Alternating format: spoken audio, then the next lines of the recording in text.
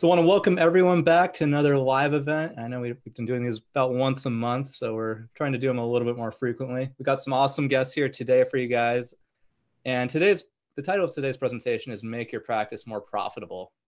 Before we jump into the presentation, just have a few quick announcements. Uh, first announcement, we've got quite a few new partners uh, this next half year of ODs on Finance. Every about six months, we renew our, renew our partnerships. So we got a lot of familiar faces I just want to list out our new ones just so you're familiar. First one is Carlin Associates. They're a CPA firm based out of Washington, and they specialize in ODs and optometrists. Next is Housing Company. You might remember their live event from last month. They're also a CPA group based out of Utah, and they once again specialize in doctors and small businesses. Uh, next, we have Bankers Health Group, BHG, and they give out business capital loans. So definitely check out our website if you're interested in getting a loan for your practice. And integrated wealth management that is adam Schmela. you might have remembered him. Uh, he did the cares act presentation a couple months back and he is a cfp and finally we have hayes wealth advisors. That is natalie hayes and she is a cfp as well. And both of them specialize in optometry. Nice. And just a couple more announcements. Uh, make sure to visit the website odsonfinance.com there's a lot of new articles up there. You can subscribe to the newsletter. You'll get hit with a little pop up whenever you go on the news on the website, so you can subscribe through that. And also make sure to follow the Instagram ODs on Finance, and then subscribe to the YouTube and podcast. Just search ODs on Finance, and you can watch all the videos like this one. All right, so let me introduce our guest from today. Really excited. We got the I- entrepreneur team on today, and that's Dr. Raymond Brill and his son Perry Brill.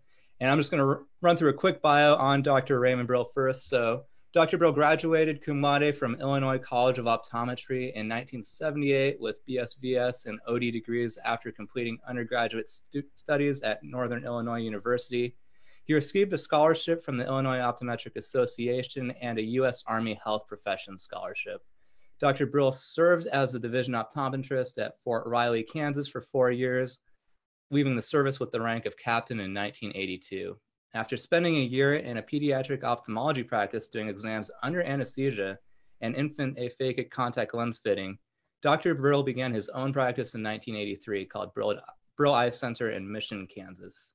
He is an early adopter of technology, and his practice is diverse with an emphasis on specialty contact lenses, anterior segment disease, and luxury eyewear.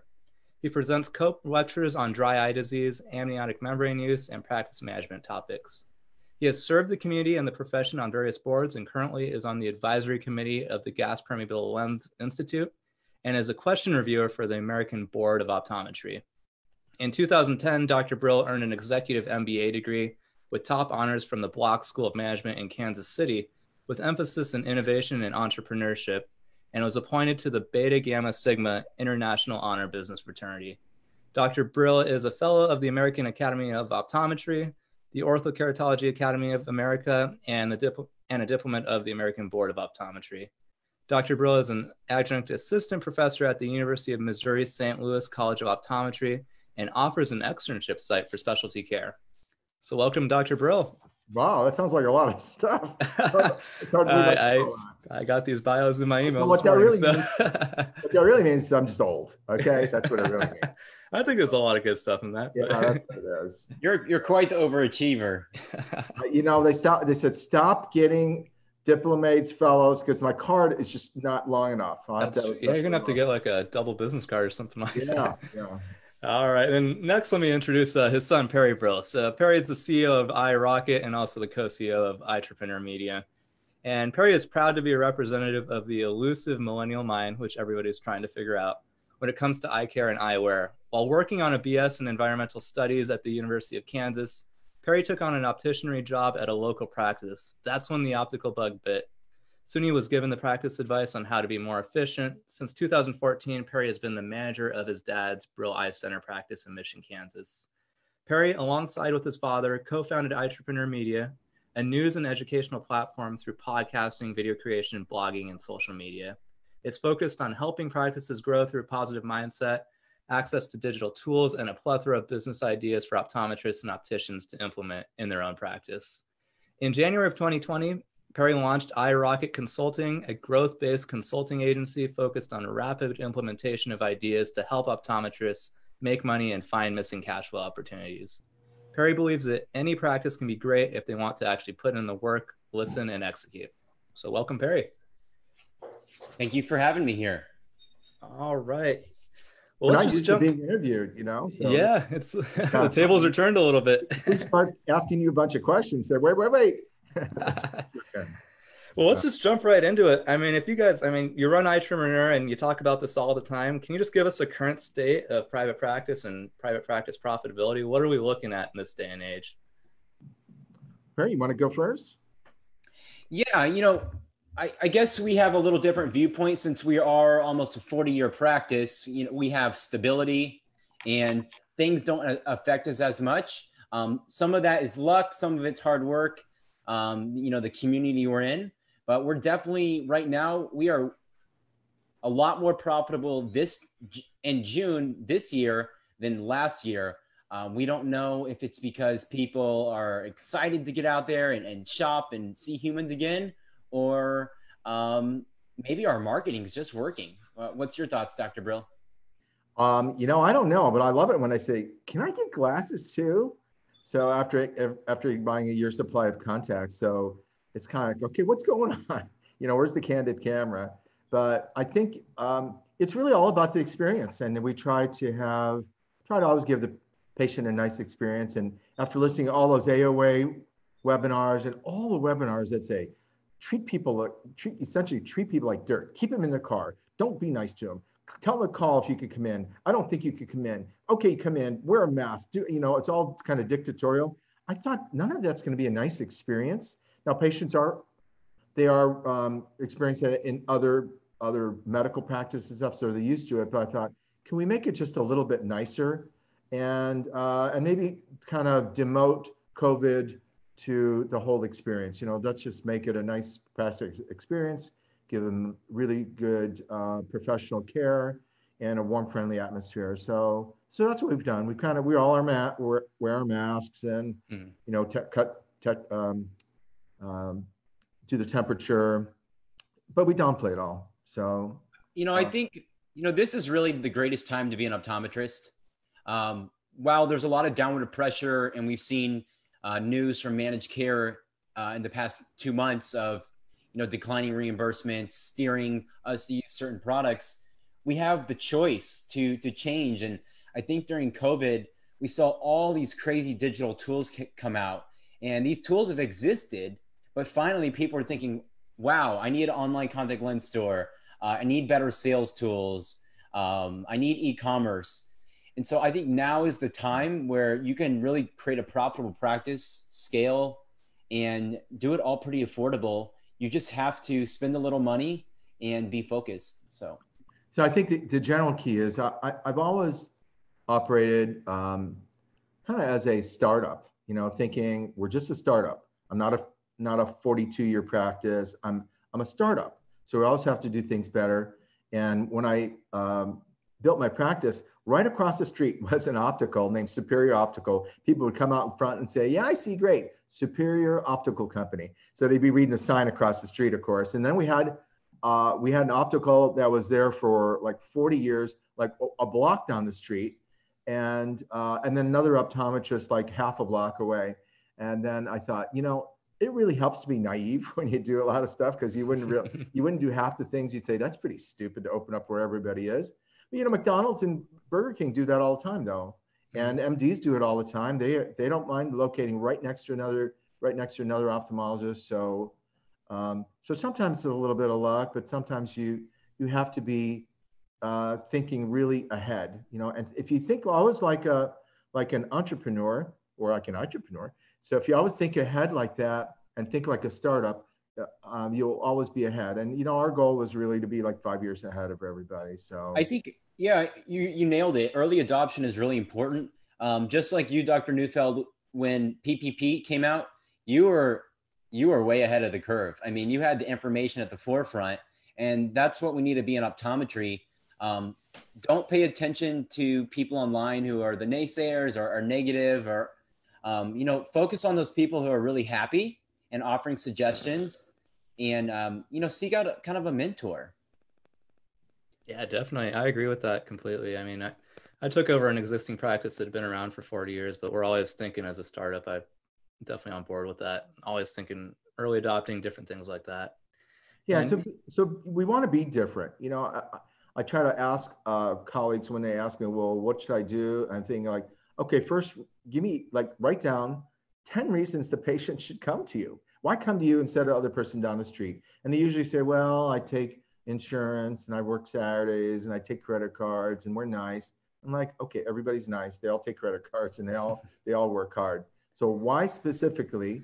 And and if you can't answer that question, why would anybody else come to you? I mean, you really should have your unique selling proposition, your USP, and and it should be forefront. And your employees should know it because when they're talking on the phone, um, you know, they really should know why to come to you, and they should know you should know some background.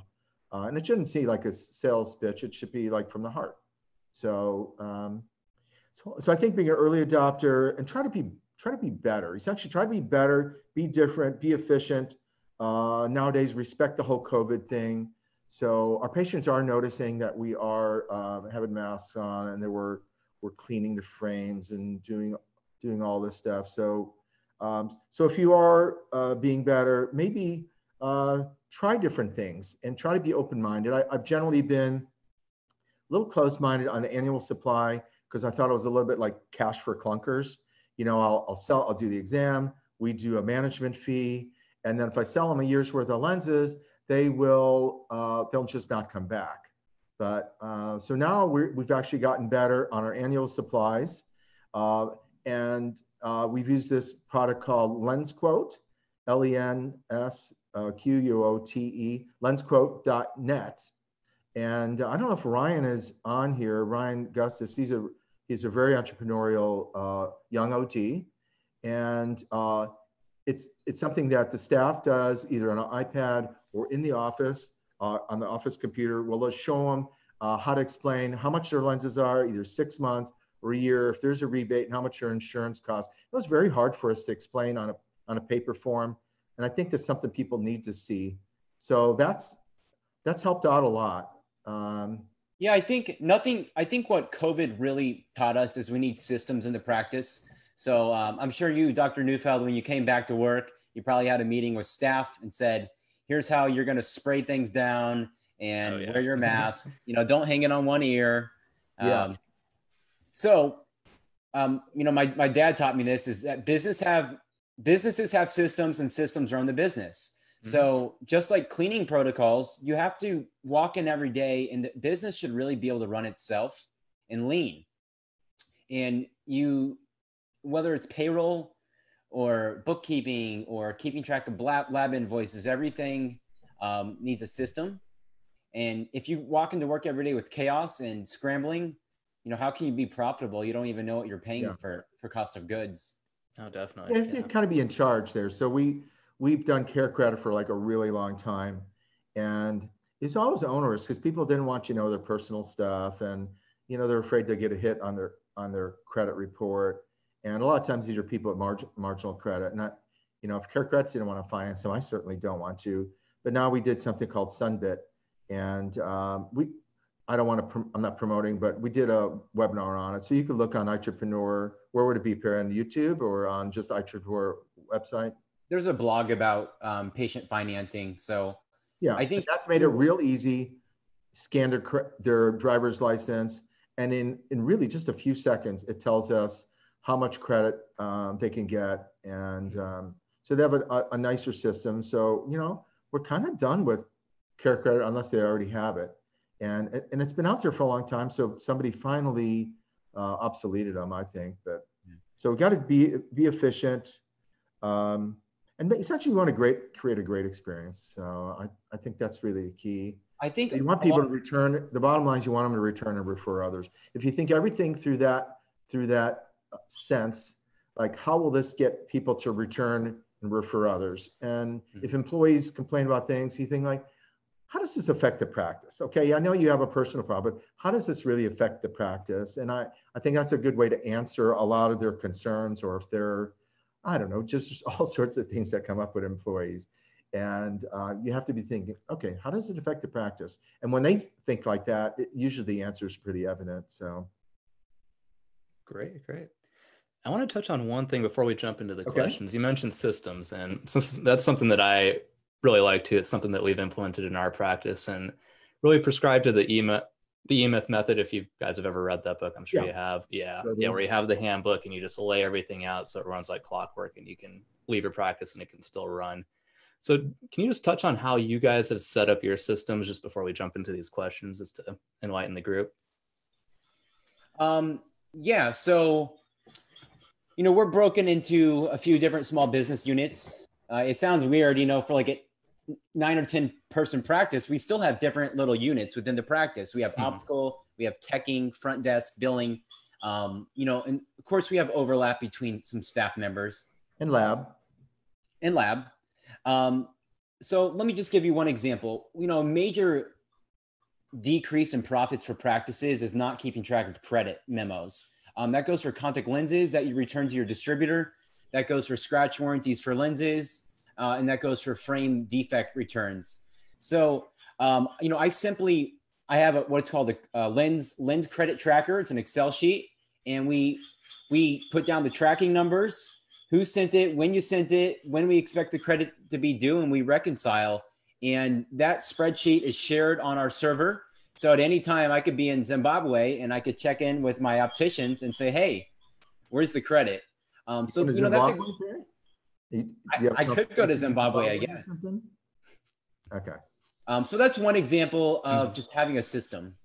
Yeah, and I, I think anything that we can outsource um, and automate is better. So uh, things that are that took a lot of time are you know filing insurance. So if you can outsource to uh, a company that, that files insurance and does your revenue cycle management. That's good. Um, payroll, I remember I used to do payroll a long time ago, and, and it was my Gateway 2000 computer went out, and I thought, I'm never going to do payroll again. I'm going to go to a payroll service.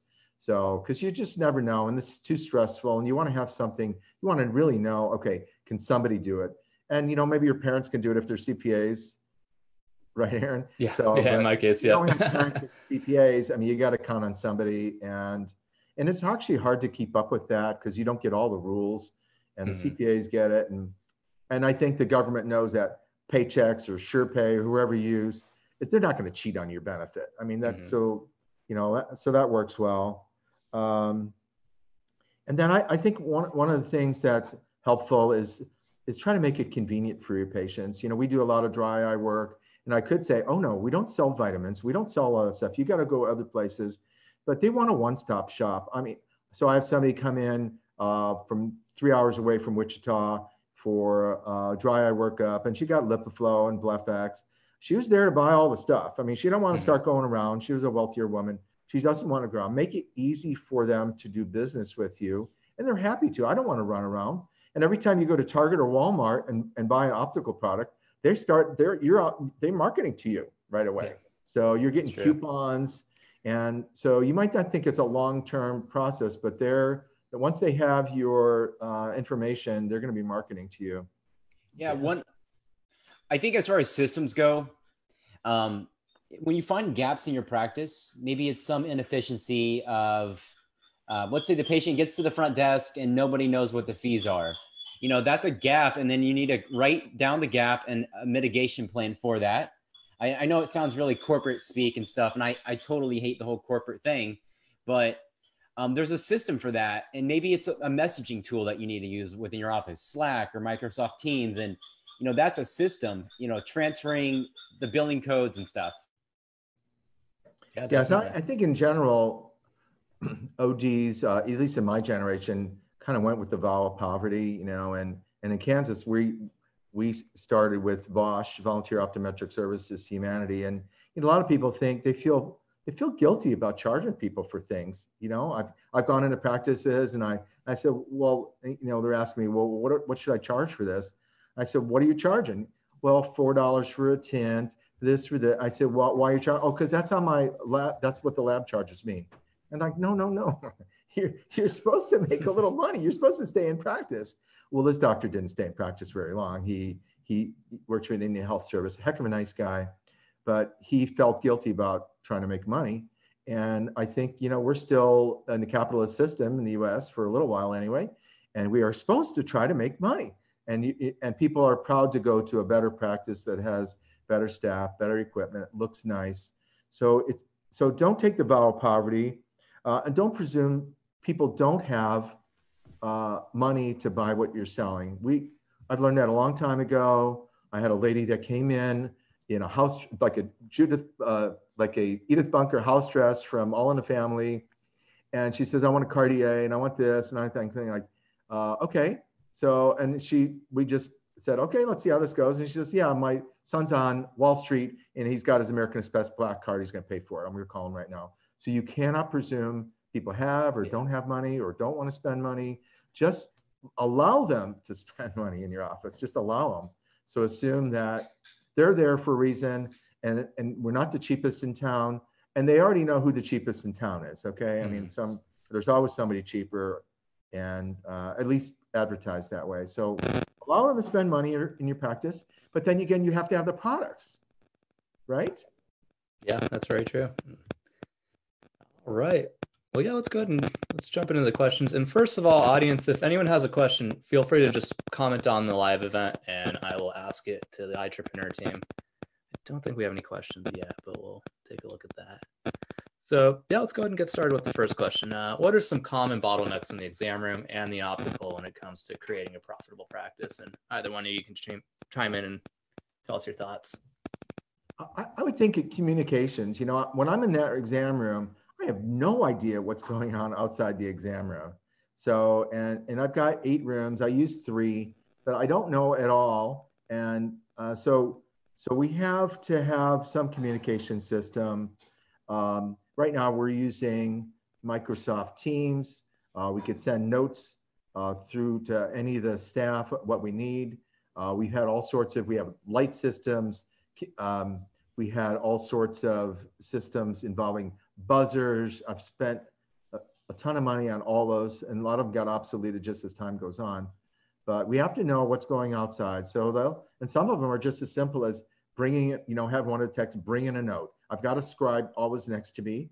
So they bring in a note and, you know, and that might say that the next patient's ready or uh, speed it up or anything like yeah, that. I would say, I would say one of the biggest bottlenecks between exam room and optical is um, it's like an orchestra it's like a dance the whole optometry experience. So when the patient goes from the medical experience to the optical experience there can't be any delay. The moment someone's sitting there stale they're rotting in the exam room um, they're becoming a pumpkin and they're getting tired. And so you got to kind of keep the energy up and the flow. And so right when the doctor's done with the exam i mean that optician if you're doing a handoff needs to be there in you know 30 to 60 seconds and then all that, all of a sudden, the patient's like, wow, this is impressive. Like they had this timed out perfectly. It's kind of like when you go to the Mexican restaurants and they bring out your burrito in like three minutes. You're like, it feels good that they're on time. No, they bring your chips out first, right? Yeah. Yeah. I got to so, the appetite. Yeah. but if you, yeah, so I, I kind of, I'm an observer of, of, other systems, and there are some nice restaurants that um, I know it's just like clockwork. They seat you, someone's right there with a hot biscuit.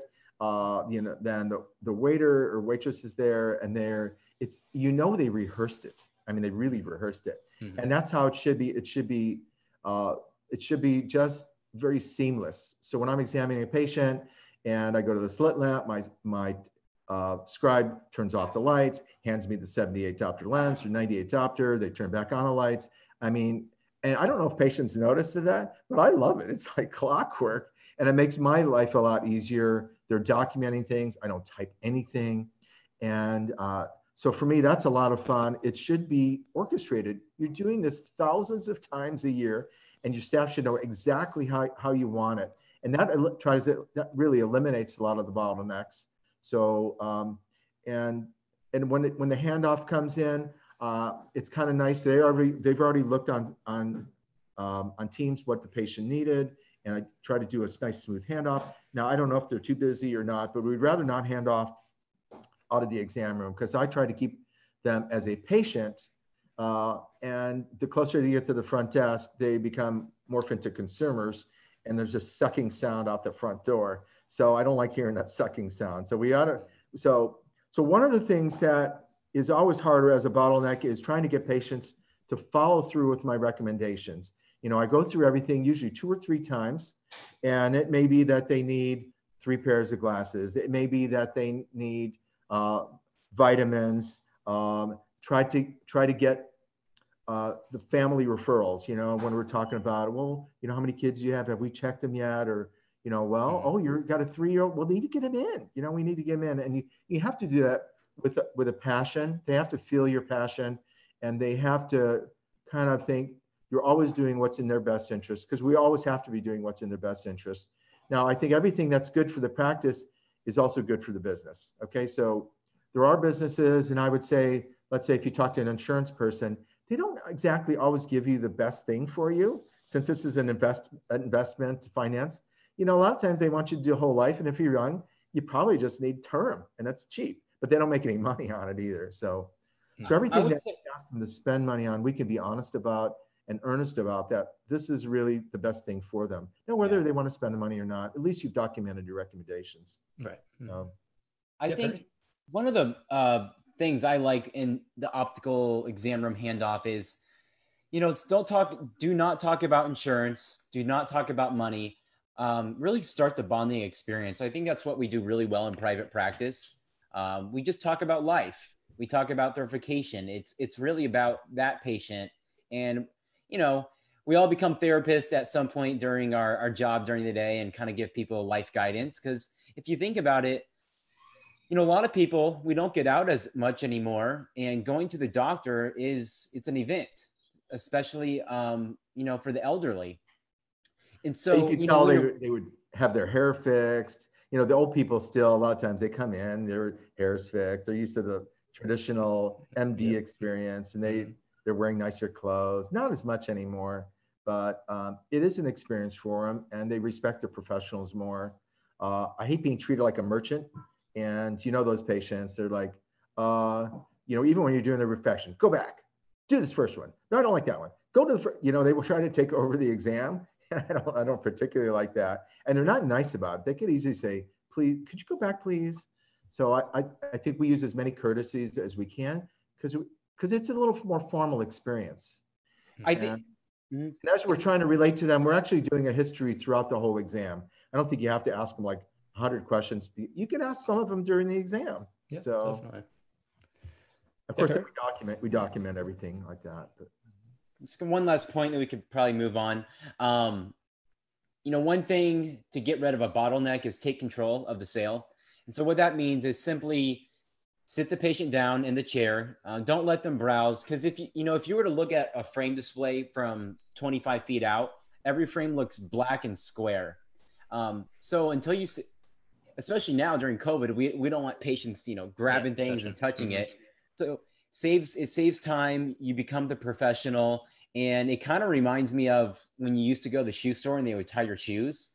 Like it just oh. felt good. I don't want to bend down. Horn, yeah, no, let, they pick the shoes out. You put your foot up there, and they have the shoe horn. Uh, yeah, I love the yep. shoe.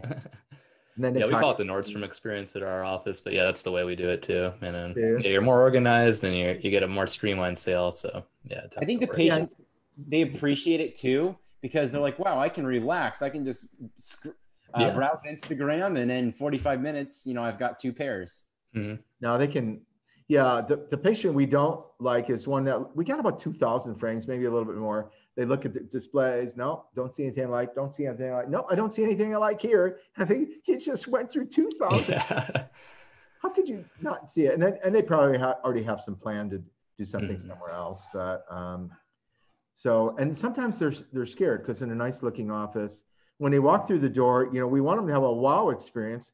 But sometimes the wow is, wow, this is a really nice place, and I'm going to do everything here. Let's I could really trust the people. But sometimes the wow is, wow, I'm out of here as soon as I can because mm-hmm. it's yeah, you know it looks ex- looks expensive here, mm-hmm. and so we have to somehow get their their trust and say, look, if you want something fast, we have our own lab. If you want something super high end, we have all that or if you want something basic.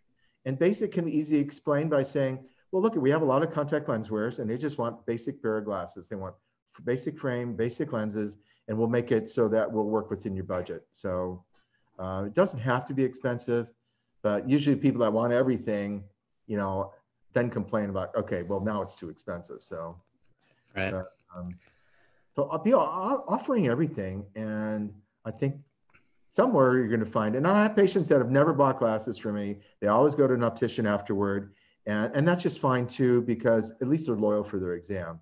Mm-hmm. Uh, yeah, and, and then don't hammer, don't hammer them about why aren't you buying them here? You you should be buying them here. And so I mean, you can nudge them a little bit when they're buying Yeah. when their frame is like seven years old and they just bought it. So Mhm. you know, thick temples, small B, B frames, and you're like, oh yeah, I want a progressive in that. And I'm like, no, it's only 28 millimeters. We can barely. not gonna happen. It's not going to work. So we have to Yeah. something else out. All right. Before we move on to the next question, we got a couple audience questions. Uh, First one's from Scott Chamberlain. Uh, what was the name of the comparable company to CareCredit called Sunbit? Was it called Sunbit? Sunbit. Yeah. How do you spell Do that? want to give a reference to that because we did a webinar on that. Yeah, I put the link in the comments. Uh, but if you just go to eyetrepreneur.com, I actually just I wrote a blog on it. Um, Okay. But basically, it's it has um, it approves. I think what ninety percent of people, even with even with low credit scores, and the whole ex- experience is better because you scan someone's driver's license, and instead of having the patient fill out their income and social and feel like you're interrogating them, you just scan their driver's license, enter the address, and then in 30 seconds you have a credit decision. And it's a soft pull on credit versus a hard pull. So Okay. you're never going to affect their credit scores, which is nice. Okay. Yeah. So if they wonder, just tell them you were you that you know the Eyetrepreneur guys, Br- Brills, and um, I don't know if they'll do anything extra. What are, are they doing? Anything for? Yeah, I They'll think they let you try it out, right? They'll buy you a pizza. I'll tell you that. So oh yeah, they'll buy you a pizza. schedule a meeting with them and they'll buy your whole staff pizza. That's something. Yeah. So, but they were great to work with. Um, very easy, and their training was excellent. So they have a training system that was really, really good. Nobody can use it in the office until everybody's trained. So we, we like Okay. them. yeah. Yeah. And got one more question for you guys before we move on. Uh, what vitamins do you recommend and keep for sale for patients with dry eye? So I try to be consistent on on on vitamins. I think if you're changing all the time, you know, what's the vitamin du jour? What's the vitamin for this month? Um, so I've been loyal to the ZeaVision products. So EyePromise Restore, DVS, EZ Tears, and they're a St. Louis company. Um, their products, I think, are as good as anybody else's. And I, I- if you're going to do that and you're going to stock vitamins, then you really have it's a commitment to stock them. Um, we probably buy two thousand dollars wholesale of vitamins a month, and we make probably about a thousand dollars on that. Hmm. So it grows over the years. I've been with that company since 2006. They don't do anything special for me or reward me in any special way. Uh, I don't like the idea that they sell it on Amazon, but they do sell it. The company will sell it to your patient if you want them to and you might get uh, I don't know what is it a dollar or something, some nominal some nominal Mhm. amount. Uh, you give them like a discount code. So Stocking product stocking products is it's difficult. Um, I'm no professional at managing inventory of products. Our our EHRs just aren't set up like that, and I'm not gonna have two different inventory systems.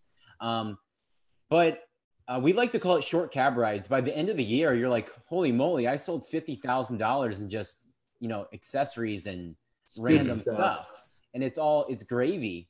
And solutions, vitamins, you get you do get you know, you little get, you do get worried because sometimes you feel like wow I'm, I'm sitting on all these these goods and products and a lot of it has expiration dates. Um, but you just have to have confidence especially when the front desk is presenting it. Uh, i'll give you an example. So when we do our dry eye workups thorough we go through their you know meibography we're looking at tear breakup time and uh, their blepharitis and the patient gets to the front and they're ready to buy like hypochlorous acid it's you know we want to sell it because we make the money but your front desk has to believe in it because uh, right when they get to the front desk that patient their brain it, it scrambles Oh, yeah. and they forget everything and so the front desk has to reiterate again after dr brill went over it three times and um, the staff. But if you put it all in a bag, you know, this is this is all that you need. They're then they're confident. Say, okay, I got everything. I got my instructions. I got my IPL. I know what I'm supposed to do. I got my next appointment, and then we we always can have them call back. And some people some people call back, but um, surprisingly, people all, all those little small cab rides Perry was talking about. It's an analogy, so they can you can go like one long cab ride from Kansas City to LA, or you can have a bunch of five mile ones, and all that little stuff it starts it does start adding up, and and it's nice to be one stop shop. It's not for everyone. Some mm-hmm. people would rather just refer them to the website. Uh, but then you lose kind of control. They go to, yeah, oh, I bought the one at Costco uh, or at Sam's Club or the cheapest one. Uh, and then you're not really doing any good because you're not really um, giving them the, what you feel the best products are. And you got to prove it. So we have QuantifEYE, the instrument, the macular pigment optical density instrument.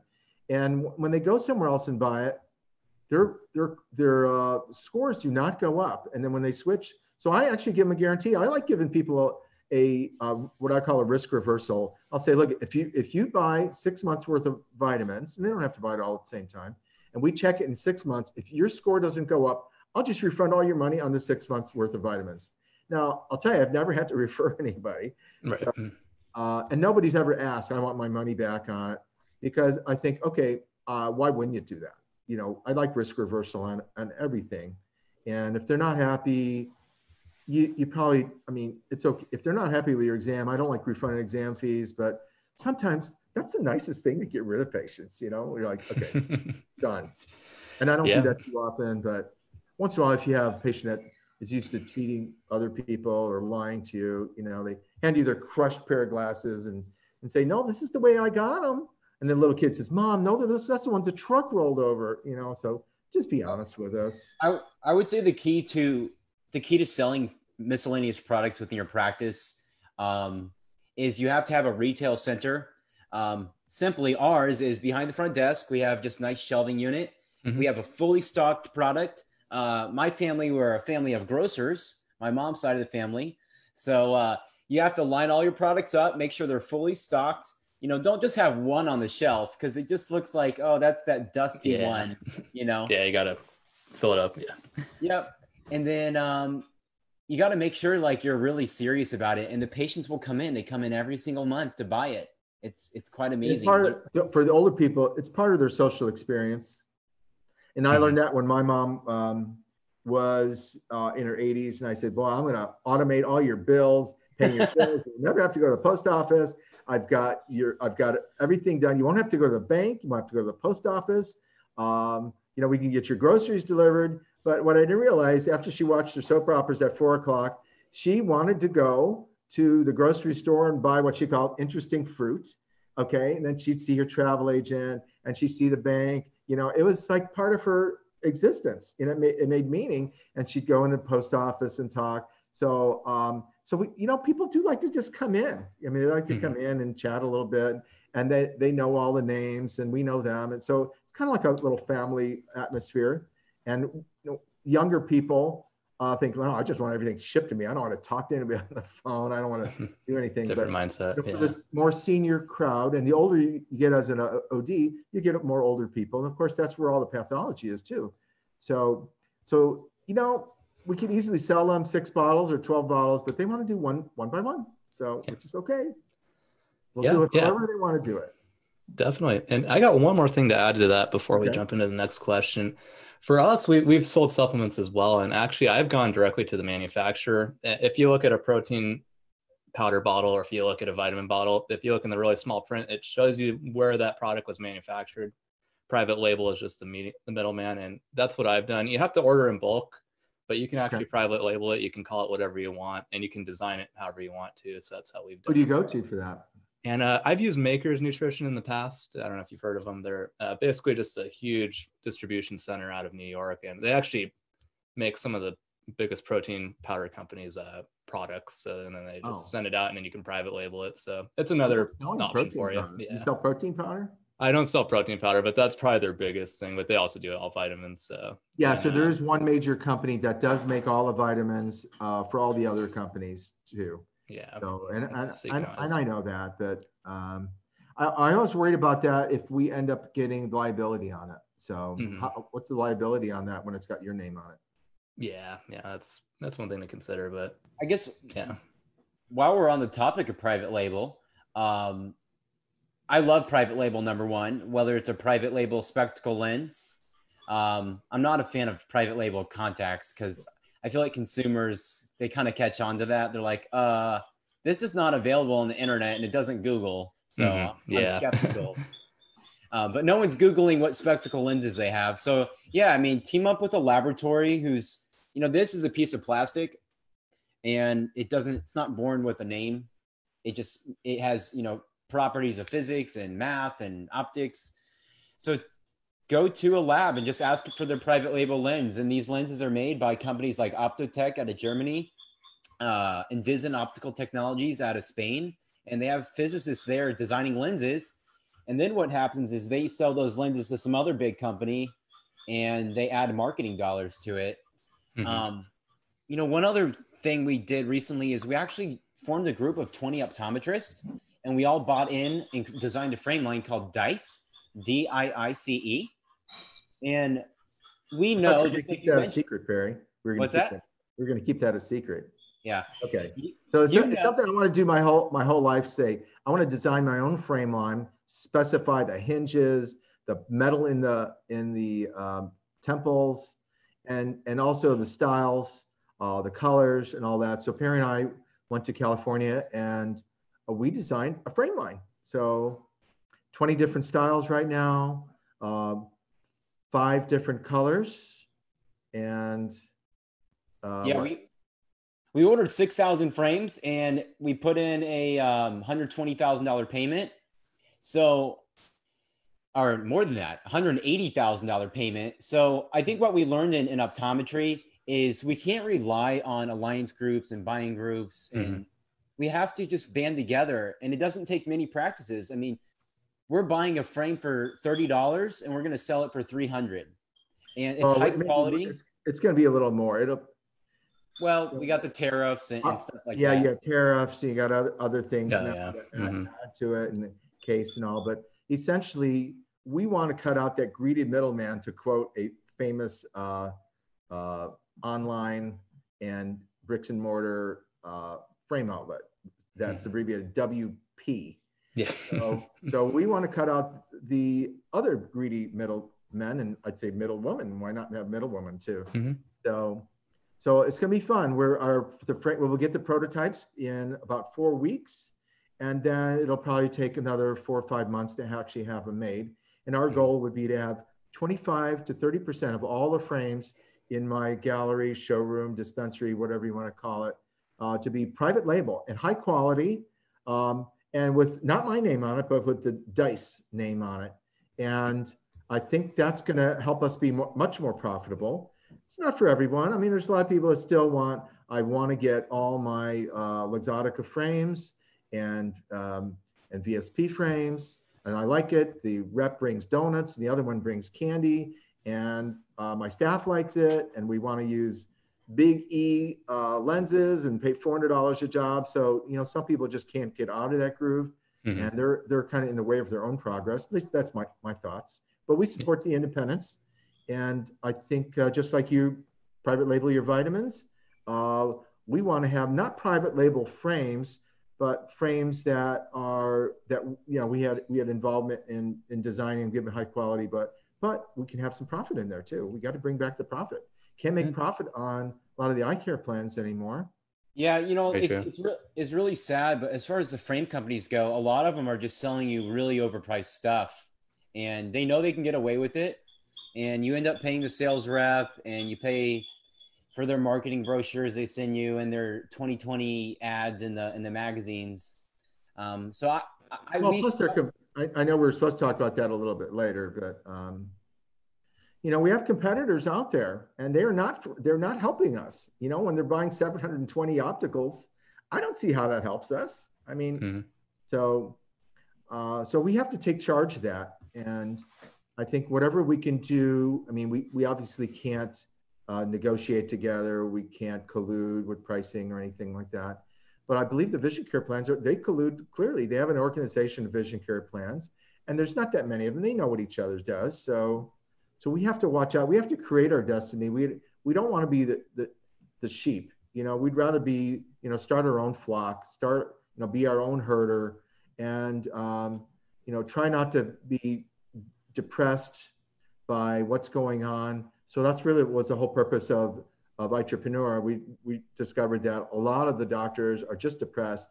They are letting things happen to them, and you got to make it happen. If you if you want to do, you got to make it happen, or or cooperate with others to make it happen. Kind of like you guys do on ODs on Finance. I mean, you got a fabulous uh, uh, site and all sorts of content, and and I think it's fun when we could be participating in that. So, and I feel bad for the people that haven't discovered your site. So it's it's fabulous. Yeah, yeah. I mean, your site as well. Fantastic content on there, and always good podcasts. So. And let's see here. Looks like we got a couple more questions, and okay. And we're also gonna have to have you guys on in a year so you can tell us about the dice update, see how that works in your optical. so uh, Amanda Gillis says, uh, "What are some ways to streamline check-in, check-out? That seems like a huge issue area in our practice. Have you gone paperless, or know the first steps in doing so to automate and boost efficiency?" I've got the tool for it. I'm a I'm a tech tech tool guy. Um, my, my dad, my dad gets so mad because my dad gets so mad every month we sign up for some new subscription. You know, yeah, another no. monthly fee. Uh, I'm sure. I'm sure you do the same though, Doctor Neufeld. We try to limit it, but yeah, if we need yeah. it, we'll, we'll sign All right, for so it. I'll, I'll, drop two tools. So we, a lot of people use Weave uh, for their phone communication systems, two-way texting, reminders.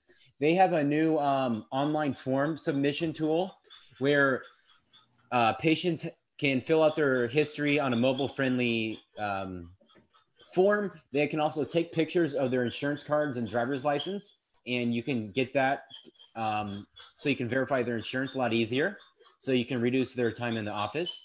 Uh, additionally, there's something called Curogram, C U R O G R A M. Um, they don't do phones, but they have a similar system for checking in patients and getting all those forms to you uh, super simple, mobile friendly. So, two tools for easy check-in. Okay, so, so I might, I might add something on there. You know, we put all the charges in in the exam room. So we pre-appoint in the exam room. We do all the charges in the exam room.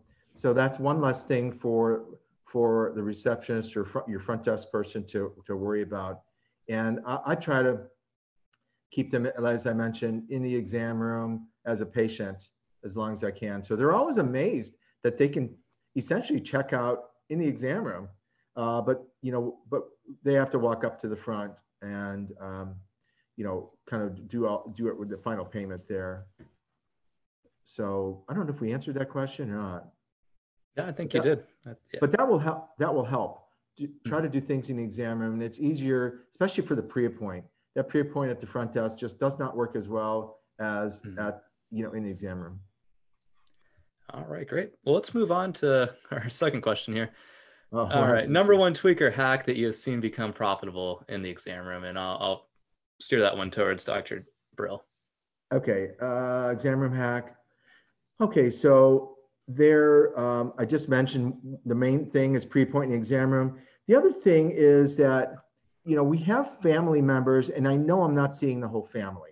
So when I'm not seeing the whole family, um, so let's say a mom brings in a kid. I'm like, well, do they have any brothers or sisters? Well, have we seen them? No, their eyes are okay. No, no, no. We, we need to really see them. Then you have to educate them about the critical period of development. You have to educate them about amblyopia and then try to get them in. Now we do um, InfantSEE. So if we get those free InfantSEEs, uh, you know, we try to see them somewhere between 10 and 12 months. And that sets the stage for when I should when they should come back. But I also try to get the parents in there. I mean, I, I need actually, if you think about it clinically, we need to know their history, right? We need to know who's the high myope, who's got um, you know some some hereditary disease that we don't know about, who's got keratoconus. So I found on InfantSEE though they are not interested in that. So uh, they're like, okay, we're here and somehow somebody else is paying us, and uh, there. And I ask them, well, who do you go see? And they're like, well, why would we ever come here? And I think because I just spent a quality of an hour with your baby, you know, and I and I do it out of passion, so I don't I don't mind. But I think you know that that, that was supposed to be like a bonding experience, and mm. and and then maybe get the uh, the parents here. But I realized don't expect that. It's not going to happen. So I don't. Do you do InfantSEE? I do. Yeah, we don't see too many. Probably just a few a year. But um, okay. And and has that well. been a practice builder or not? You know, the few that have come, it's been hit or miss. So some of them just come for the free exam. You never see them again. Others have become lifelong patients. So it's really it's about right, 50 50 though. But yeah, it's it's not 100% by any means. They, so, yeah, yeah, So, um, but if you ask for, uh, try to get, try to expand, you know, your appointment book by who you see. So if you just see the husband or the father, you know, well, where does your wife go? She needs a turn. You know, I mean, you have to show it that you really want to get the whole the whole family in there. And and then a lot of times they don't think they think, well, I, I'm fine. Well, how do you know you're fine? They don't know if they have mm-hmm. glaucoma or anything like that. You don't have to be aggressive about it, but sometimes they never think about it. Right. You know, and yeah. men don't make appointments. So women make, I think it was like 70% of all, all appointments there. So I think, uh, so that's a really low tech way to do it. I did a video on Eyetrepreneur on, actually how to do it. Uh, of course, uh, that hack, if you're not using a scribe, you really have to really get into that. And it's not hard to tr- train somebody. Just let them be with you and gradually they you will tell them exactly when when I go to the slit lamp, turn off the light, hand me the lens, you know, and it probably takes us three weeks to train uh, a scribe, someone that's trainable, um, and and it saves you saves a lot of time, especially if you're not spending a third of your time or half of your time typing mm-hmm. and looking away from the patient. Um, and they don't they don't really sense it that way, but they are going to their other doctors and are seeing the the bald spot on their male doctors' heads and the ponytail on their female doctors' heads, you know, and they're not, and the, and and doctors are not looking at the patient. I mean, you have to be paying attention to the patient. Give them all your undivided attention. So I want to um, say those, one, those hacks would be probably the key things. The only way to train a scribe is you have to have mornings off. You might have a month of no Wednesday mornings, and you got to role play it, go through the exercise. I know a lot of us are go, go, go, go, go five, six days a week, but you'll be surprised. Just take that time off, sacrifice that money, and later on you'll be like, wow, I feel good. I'm efficient now. Yeah, we do yeah. employee training on uh, Wednesday mornings. The staff needs time to catch up, you know, order mm-hmm. trials, or just keep everything in order, uh, do some more deep cleaning. So we've always had a little bit of time for them to catch up. Of course, that allows me to do some administrative stuff too If you burn out your staff, I mean, it, it's just not good. Mm-hmm. So, um, and recently we went from seeing patients every Saturday to really just seeing them one Saturday a month, and and that has increased morale quite a bit. Uh, it's increased my morale a little bit too. So yeah, those weekends can be a uh, killer. and I thought, well, the longest they'll wait is three weeks for you know for a Saturday, and that's that's within reason. They don't go to their OBGYN on Saturday. They don't go to their dentist on Saturday. Um, you know, you're just so I think with COVID, it's allowed us to do things quite a bit differently. You know, change our schedule, change our uh, our fee schedule, and it's kind of like a reset point. And hopefully, everybody's taking advantage of that to do the things they want to do. And I kind of got the idea when Starbucks closed on Saturday and Sunday in my in uh, across the street from me. I thought, oh, they're closing Saturday and Sunday. So they've since opened, but they've all limited their hours. Mm-hmm. Even I belong to Lifetime Fitness and it was 24 hours but now they're like nope we're closing at nine so so i think it's, it's a good time to reassess all your processes and see what makes sense or what's a big headache for you so working six days is a big headache because it's for scheduling. Oh yeah. Yeah definitely. Yeah that's great info. Next question we pretty much already covered that one so i'm going to skip that one. Uh, let's go to perry for this one. Uh, number one tweaker hack that you've seen become profitable in the optical. So I want to consider this a hack. It's just more of a, a standard of you know in any retail business mm-hmm. is uh, I call it the default option. Um, you know, most in the managed care vision space, you know, we have a couple different anti-reflectives, whether we want to call it tier one and two and three or A, B, C, D. You know, always start with the best because you can always go down and um, and why not give the patient the best? You know, why why would you say, well, you could get this one, but you know, it scratches easier. So start off, you know, really positive, and then um, you know, when you're showing frames, start with the most expensive. So you show a six hundred dollar frame, a four hundred, and a two hundred. Um, you know that that 600 one's like, yeah, that's that's kind of far out. The 200's like, oh, that's cheap. You know, I don't want that. So it's pretty more likely someone's going to go for the $400 one. So the default option is just always offer the best, and you can go down from there. Um, you also have to have a good sense of a gut feeling. You know, can somebody afford it or, or not? Um, so tell your staff. I assume, I assume everybody will afford it, but you but you just can't go way overboard. I think what Perry's saying. You know, it's like okay, um, you got to be somehow within reason, and and patients actually love it when you say, you know, this is. Uh, I mean, you've got a really good quality frame, the good lenses, and and for how you're going to use that, uh, we could we could maybe economize a little bit by not going with this, you know, this type of AR or the polarized or who who knows what, you know, just something. So they want to know that you're really on their side and you're not just always, um, eh, you know, trying to gouge them for the highest price.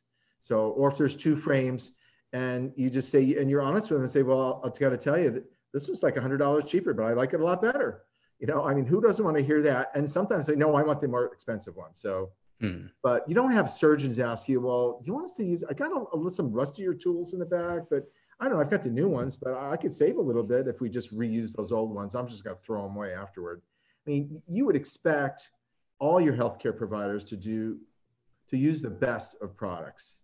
So, mm. um, and, what and, I and you should be thinking of them as treatment materials, not like products. You know, it's it's a treatment. So um, yeah, you know, I think if you have that attitude, they'll have that attitude too. You know what? What you presentation is everything. Whether you're presenting um, scleral lenses, ortho K, or nice eyewear, you have to be calm and confident. So when you're picking out the glasses, um, I choose everything for people. They don't even get a choice. So when I'm a minus six myself, so I would just say you're going to get a thin lens. It's going to be scratch resistant, nice lightweight, and here's the price. Um, I, I go at it a little more slow with the patient but they want simplicity. They don't don't mention names. The names, the French names and the Japanese ones are all very complicated. So just tell people the features and benefits and tell them the price. And sometimes there's that awkward phase of 10 seconds where nobody talks. That's a good thing. That means they're thinking. Thank you. And the so, next one that talks loses though.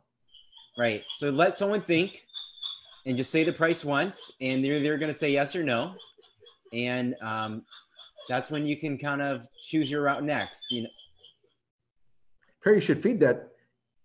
I was just gonna say, feed that dog. I know he's going crazy. Treat or something, will you?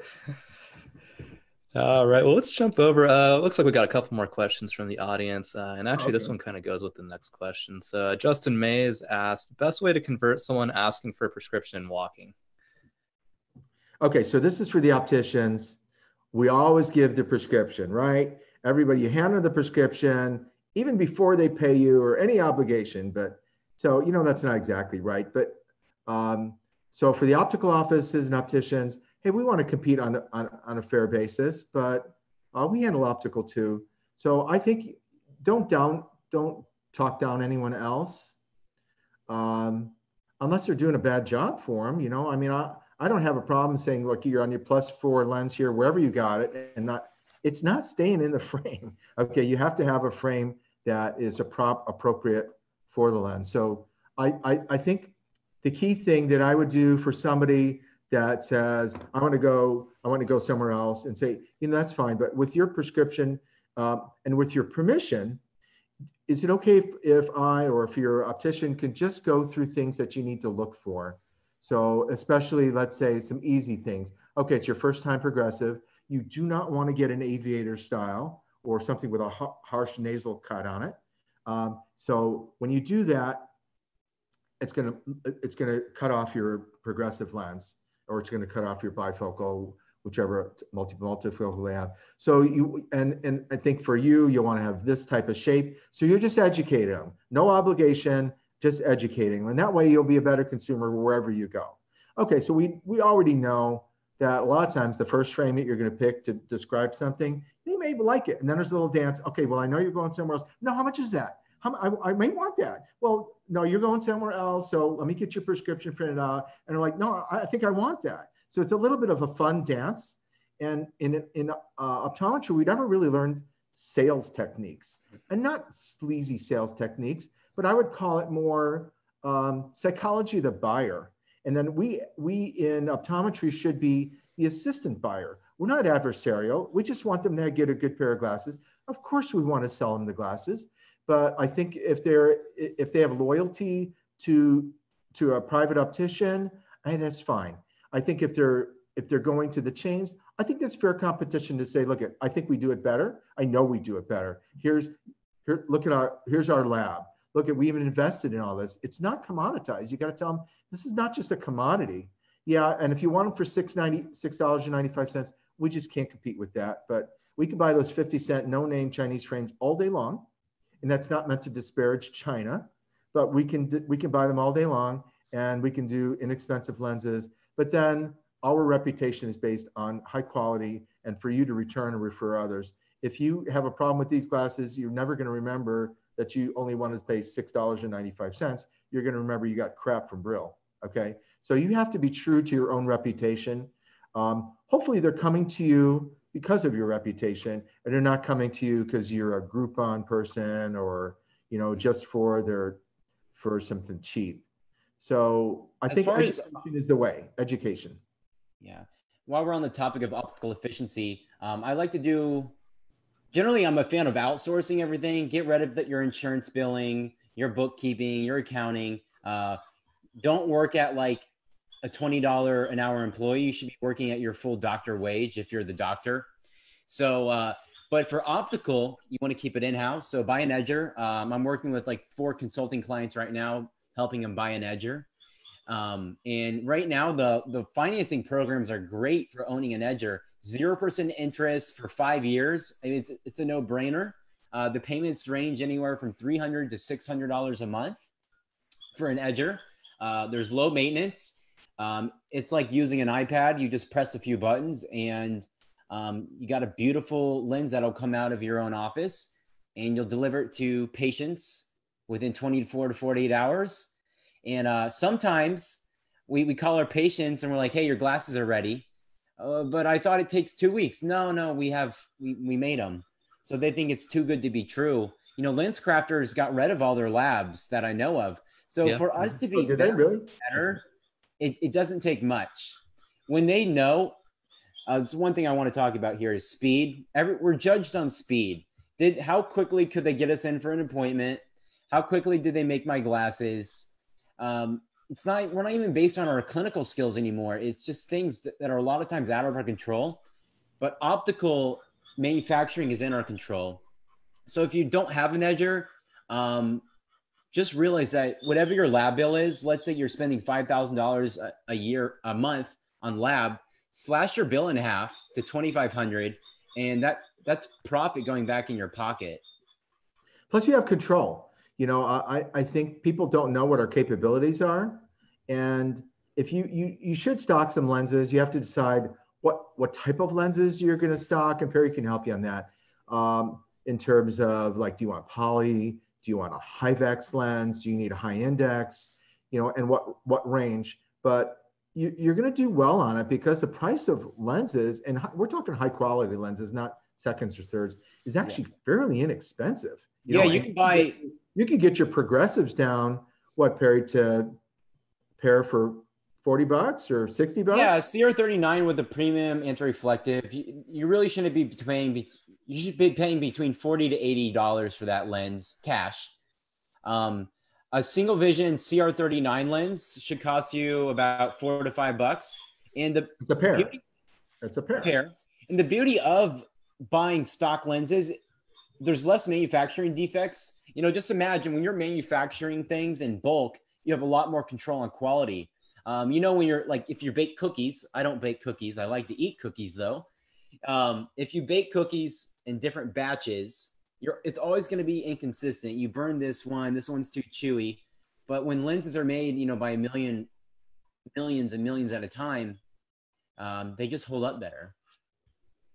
Yeah, yeah so that, that's a commitment and but right now the edgers are pretty dummy proof.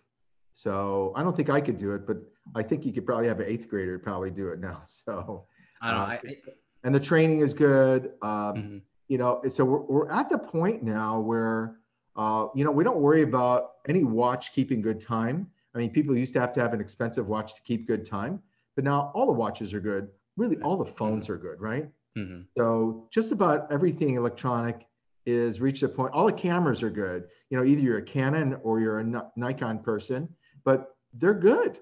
So and the edgers have really, uh, even those mid mid range ones, maybe not the lowest end, but even the mid range ones, they're pretty darn good. Yeah, I would Yeah. buy new. I would not buy a used edger. No, don't buy a used one, but I, I would buy new. Get all the latest software on it, and you'll you'll feel more power. I think part of our part of what what doctors are depressed about is they don't have control. And I think I, I'm kind of a control freak, or Al Kleinman told me that I'm kind of a control freak. So so you want to have control over your practice. You want to know what's going on. When somebody calls up, I broke my glass. I need my RX to to go to XYZ Optical uh, and you're like, well, let me check. I have those lenses right in stock. Would it be okay? Would you mind? You know, it take us about 15 Yeah. minutes to make it. People people come in with a corneal abrasion because they've been wearing their contact lenses too long or something, and then they don't have a don't backup. glasses. They don't Yeah. have. glasses, That's a great sale right there. They don't have glasses, and immediately they're in desperation mode. And you edge it on the spot. You go you go back to your back room. It doesn't take a big space to have a stock of lenses. So um, yeah, But later on, you could say uh, they need something now, and maybe it's not perfect. But you say later on, you know, hey, not a problem. When when everything's all healed, we'll double check it. And if we need need to remake it, we'll just remake it. Okay, so that's that risk reversal thing. Well, I don't know. I don't like glasses. I said, but you can't see. So you don't. You're you're on the ro- on the side of the road with a flat tire and no spare. Okay, Mhm. you know, and they did it to themselves. Uh, but that you are there, you are the, the rescuing person, Yeah. and they will, don't remember that. So that that's something they will remember because they don't think you can actually do it. So a lot of times people leave because they don't think we can do something. I want to talk about how do it fast enough. I want to talk about ta- how taking control of your uh, in-office lab can actually bring staff satisfaction. Staff leave our offices when they get bored, and so when you can give them more duties and more responsible roles, they feel like they're growing in the position. So lab is definitely one of those things. Um, and I know you're you're big on lean theory, so if you you can work on less opticians actually having an edger because you're you're spending less time calling the lab. Where is where did it ship? Did it break? Where the heck is it? Um, when you know it's in your office you know okay i'm gonna i'm gonna cut this one you know right after lunch or you Mhm. have some pro- protocol Yeah, it's because it does take a lot of time to, um, let's say, process the. You might have to do do things twice. You know, do it in your system, maybe do it on a managed care system, and then there's a lab system. So, God, for them to type that thing in there three times, that's a lot. That's a lot of work. So, And then yeah. they got to place the order, maybe confirm the order, follow the order. Then it comes in, check in the order. You know, by that time, uh, you really are not efficient. And Mhm. so it does help you to kind of take control of it. And of course, you got to make sure you, you process the jobs, uh, you know, in a timely fashion too. So, yeah. And looks like we got three follow-up questions on, on what we just Okay. talked about. Uh, so Justin asked uh, thoughts on stocking having access to stock progressives, and then uh, Maria asked, "Do you recommend to buy stock lenses in bulk?"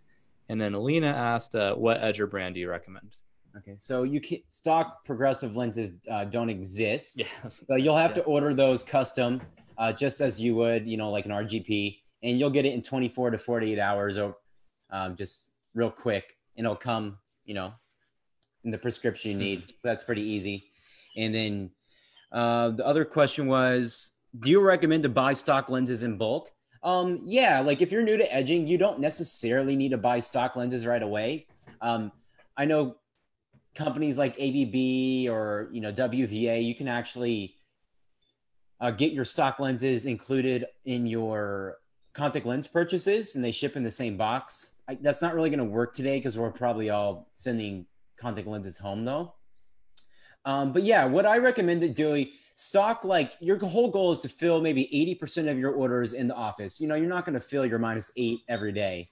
So choose your core powers, maybe a plano to like minus six up to two cyl and a few materials. And for a small investment of, you know, three to ten thousand dollars, whatever you want to spend, based on you know how many pairs. Um, that's stocking, and then edger brands. So here's the thing on any piece of capital of equipment, you all of equipment's good. I'll tell you that. So Kia's good, a Hyundai's good, a Tesla's good, but really what you're buying is customer service. So you want someone who's going to answer the phone. They're not going to put you into a queue. They're going to call you right back. Um, so that's what you're buying when you're buying an edger. And um, I've kind of had a love for Briot lately. They just seem to have good support and good service, and that's what it's about. All right, cool. Yeah, because you you need a partner in that in a whole lab thing. Mhm. You need, need somebody that when you call, you're you're not going to be like, oh yeah, uh, leave a message, we'll call you back in two days. Because when you need something, generally you need something now. And if your edger breaks down, you got all sorts of jobs. That's, and they will all all of them have some parts that go wrong or something's some little fuse or something easy. Most of the time nowadays they could just fix it online or, or guide you through it or through a tutorial or they can log into it. Uh, so that's way, way different than the, than the old days. Um, but we've always had, a, I've always had a lab. I, I don't know how to do any of those things, but I've always had a lab and, and it was kind of fun to be able to actually craft things, you know, whether it's even tinting or, or anything. And, and you always have one employee that maybe isn't quite as good with the, with patients, or maybe they're a little quieter, but they love the lab. You know, just Yeah, put me in the lab. So Yeah. I'll, I'll adjust them if, if you need me to talk to them. I, I can adjust their glasses, but they do just better in a lab. And maybe it's your per, maybe it's the person that is just uh, maybe a, a, a little uh, not as presentable. I'm trying to be kind here. Maybe they are just don't have the personality for it. But you need technical people. You know, people can, that can fix the basic things on it and and develop some skills. Uh, They- and it, the and that's a good way to, you, to move people around in the office. edging companies will come out, they'll fly out, deliver the machine, set it up, calibrate it, and then they'll sit there for one to three days. And And there's warranties. Yeah. in that time, you'll run your own jobs and you'll actually get the hands on skills that you need. So you have a teacher, which is nice.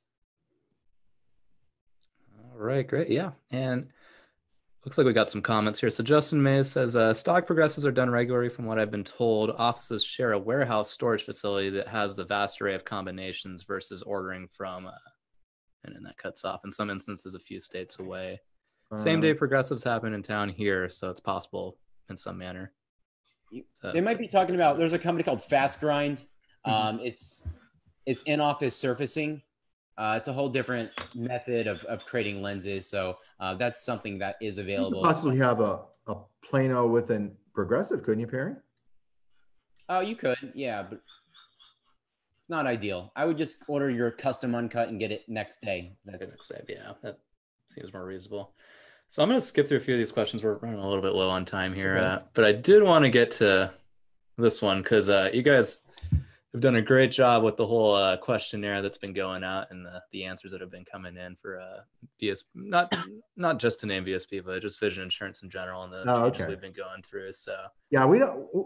yeah, We're we'll just gonna give some commentary on. Yeah, we're going to kind of refrain from pointing fingers at anybody because yeah, but I don't know. just a general commentary on what you guys So think. generally, I'll, I'll kind of tell everybody what uh, what we did is we we saw the news about the, that managed care plan uh, that's based in California, and uh, it was a little upsetting and to see that we're being steered to use certain products because as as as doctors and licensed opticians, uh, you know, everybody went through some type of schooling, and they should be able to choose the best the product they think is best for the patient, and so what we did is we had a survey and actually collected 1,000 of them. Um, this is not a validated survey by any means. It was very biased, and we got some really frank, honest thoughts from optometrists about what they think of managed care and how it affects the patient experience. So we, most of them we would not we, we would not be able to repeat here, and there was uh, a lot of a lot of f bombs. There were a lot of foul language in there, and some of us f this, f that. I mean, it was really they were funny, but uh, but it was anonymous, so we don't know who did them, and uh, we just wanted to get a general consensus. I think on a thousand responses, you get a general consensus. Okay, I mean, it's not like we sent fifty, And, it, and like Perry said, it wasn't validated, but um, we didn't have to really ask people if they, uh, how much they like it, you know, because we knew the general consensus was that people weren't going to like it because it's something restrictive. And it's kind of like, do you have any kids, Aaron? No, don't have any kids yet. Okay. So, you know, when you punish your kids, I mean, you don't expect them to like it. Okay. And we were being slapped down and being punished. And here we are, all very loyal sheep, all Mm-hmm. very loyal sheep, taking a pittance for uh, our examinations and haven't had a raise in what, 18, 19, 20 years. And we're taking it. We keep taking it. Our expenses all go up. And then to be squeezed into a mold that fits a verticalization of a managed care frame lab company. And there's a matter of fairness. You know, we have to be, we have to have some kind of fairness here. And I think some companies do not realize that, you know, we're humans here. We have to run practices, especially with the after COVID. You know, it would have been nice for some of these insurance companies or managed care companies to say, you know what? Thanks for hanging in there. We need you. You're you're great providers. We need you. Without I- you, we have no plan. I And heard we're gonna we're gonna bump your we're gonna give you 20% extra on all your reimbursement. And here's a $10,000 uh, gift. We're matching. We're gonna kind of match a PPP or an EIDL. You know, w- we realize we're a billion dollar plus company, and you guys need a little help. The last thing we need is say we're gonna make it harder for you. To I- I So- heard uh, Davis Vision actually. Uh, I saw it on Facebook. I don't know if it's true, but they're giving out PPE uh, reimbursements or some type of I subsidy. saw that too. Yeah. kind of cool. So I'll say, while we can't do anything in general to make an active move to, you know, abolish the the managed care environment, what we can do, and I suggest it to everybody, is start to disassociate with some of the products they sell. Um, you know, Oakley's a very good seller in our practice, and I'm not going to get rid of it because it, it it's just the environment we're in in Kansas City. We're the Midwest. It's not fashionable, and they do make some good uh, like sports lenses and stuff. But start to get rid of some of those frame brands. Don't you know if you're thinking about a EHR, you know, don't buy an EHR that uh, a managed care plan is selling. Um, so those are just my thoughts on choose who you do business with wisely. So I would say try to be as independent as you can. There's so many services that we can offer. Uh, I, I'm not a low vision or VT guy, but or gal, you know, if you're if you like that, maybe that's maybe that's the ticket for you to be less uh, less managed by managed care. Uh, I am a dry eye guy, so there's so much opportunity in dry eye, and I'm talking in more advanced treatments, not like I put them on Xiidra or or Cequa or you know I gave them refresh sample you know, do it in a more serious way after they've gone through that stage. I've, I've tried this, I've tried that. Try to do it a little bit more serious or, you know, uh, be a more collaborative optometrist. So uh, I'm happy to refer to colleagues for things I don't do or don't do well or not on the insurance plan. I don't know why we refer to ophthalmologists for everything. You know, optometrists were trained in glaucoma to treat glaucoma. They've got an OCT, visual field. They have all the findings. But a lot of times I hear, well, I just want to refer it to the glaucoma specialist just to make sure. Like, okay, the pressures are 29, their, their angles are closed, they, their uh, sister has glaucoma, they're on steroids, they got glaucoma, you know, for crying out loud, treat the glaucoma and, and gain some experience. So, but we refer out a lot of stuff to people that I, I think are non-optometrists. And I, I like being the collaborative eye care model.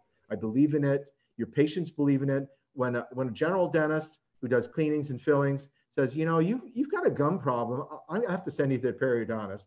Well, of course, you expect the periodontist not to do fillings, cleanings, and, and steal the rest of the family. You expect them to be honest. Of course, we have to be that way too if we're if we are the person being referred to.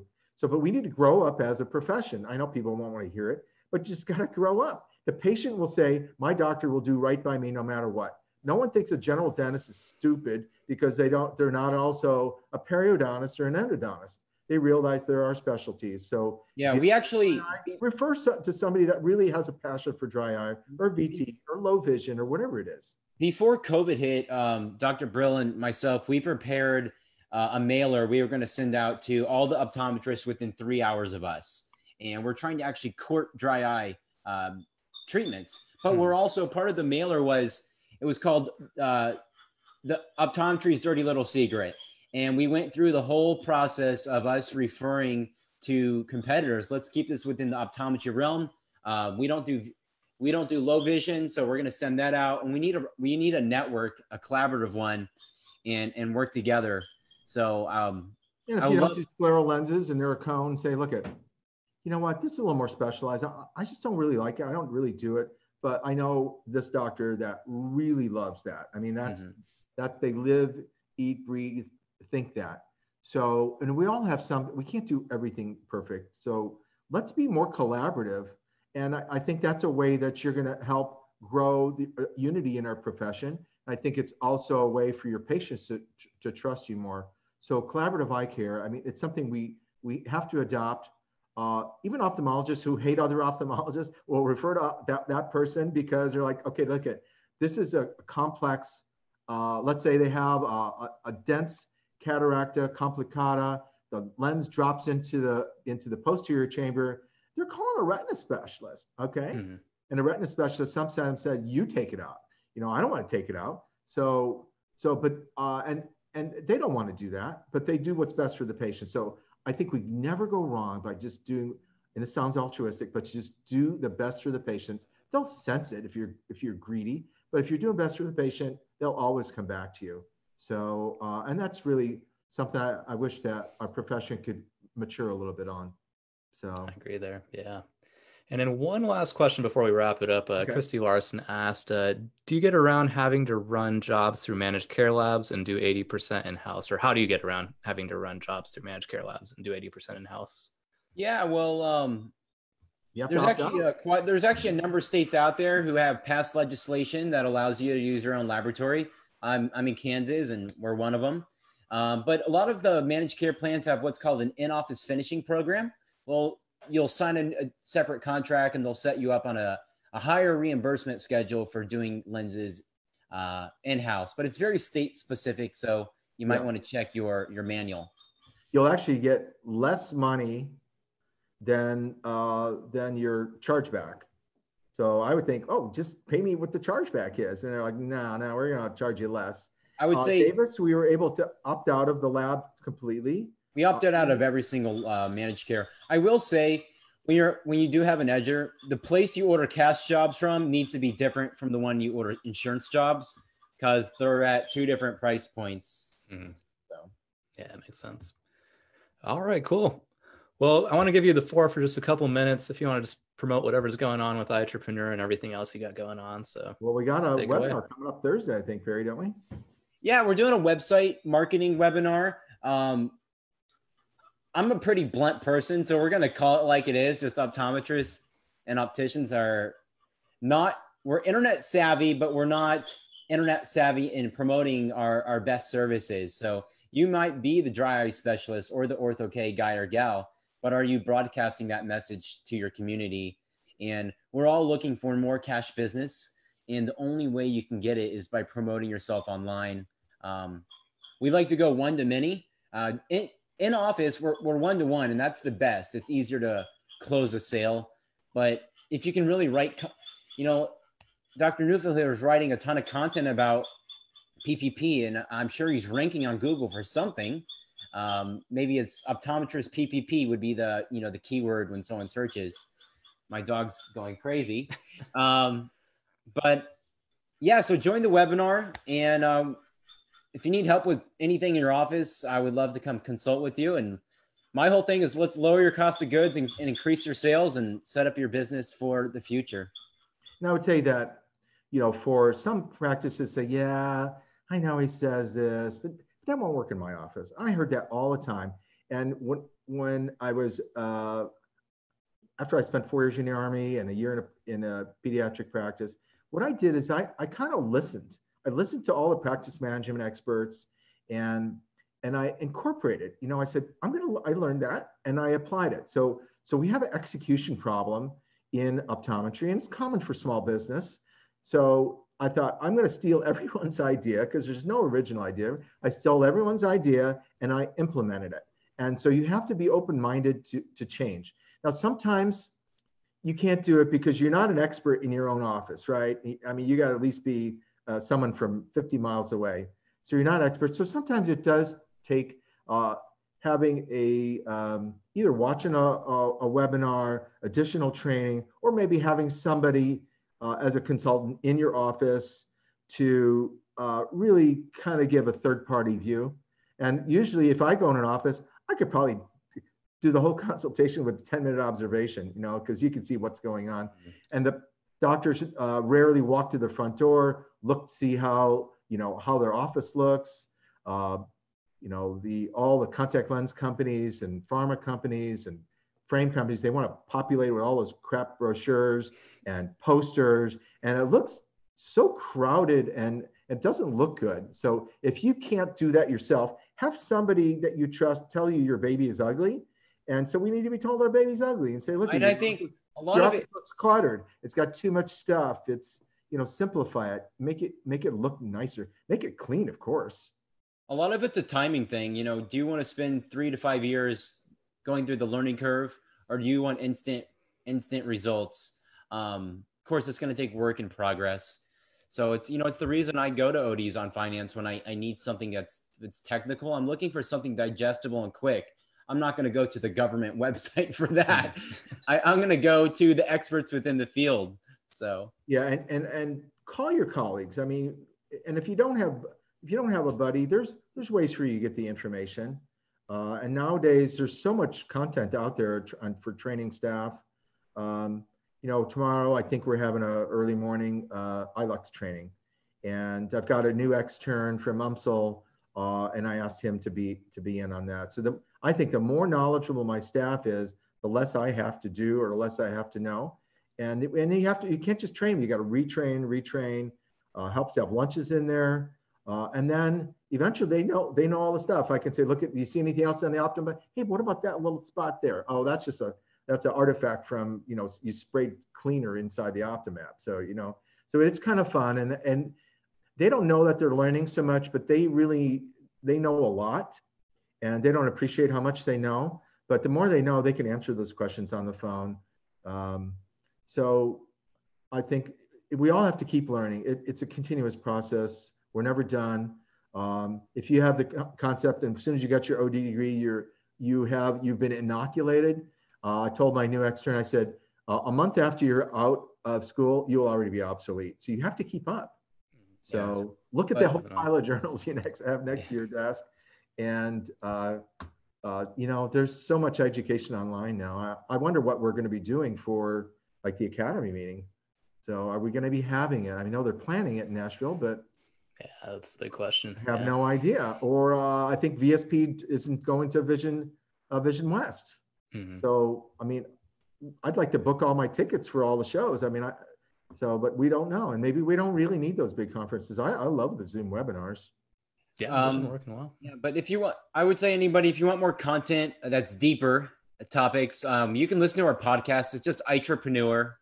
Um, I'll spell it because it's the worst name ever, and I don't know why we decided on that. I decided on that.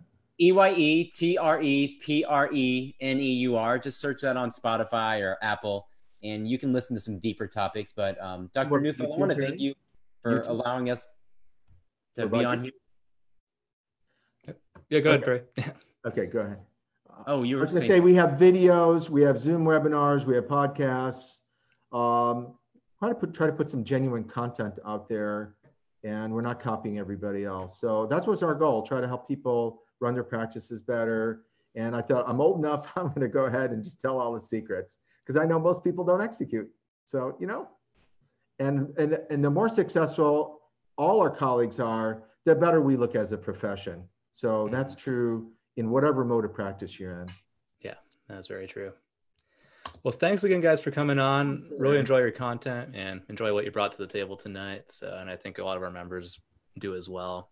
And Perry, if you can put your uh, the link to your webinar in the comments, I think a couple people asked for that. That'd be great. Okay, yeah, we're actually it's it's something you guys are interested in. We're going to do a live critique of three people's websites. So if you don't mind us telling your baby's ugly, or maybe your baby's really beautiful. Uh, we're going to pull someone's website up live and we're going to point out things you're doing really well or things you could improve upon. and it'll just be kind of a fun experience. We're doing Um, it live. We're doing. We're gonna yeah, we're gonna Google them live and kind of go through their whole web presence. Oh boy. So That'll be fun. yeah, Have your have a box of Kleenex ready, okay? I'll put a link in the in the notes. So Sounds good. Cool. And then Thanks. yeah, we'll have this in a YouTube and a podcast hopefully by tomorrow or the next day. So once again, guys, thanks for coming on. I know it's late out there, but appreciate it. All right. all right. A pleasure. All right, take care. Bye.